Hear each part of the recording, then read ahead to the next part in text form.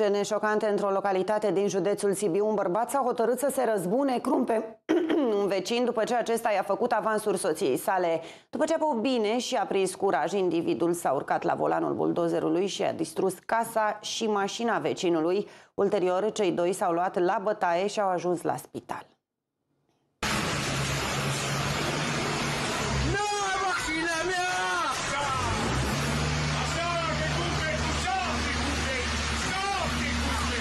Scenele care par a fi desprinse din filmele de acțiune au fost surprinse în localitatea sibiană Veștem. Pentru că vecinul său i-ar fi făcut avansuri soției, un bărbat s-a îmbătat și s-a decis să se răzbune cu ajutorul buldoi excavatorului său. Momentul în care se urcă pe vehicul și dărâmă o parte din casă a fost surprins chiar de vecinul neputincios. Iar conflictul nu s-a oprit aici. După ce bunurile vecinului au fost distruse, bărbații s-au decis să-și rezolve disputa prin violență și au împărțit pumni și picioare fapt pentru care au ajuns la spital pentru îngrijiri, iar poliția a fost și ea sesizată și a deschis un dosar penal pe numele agresorului.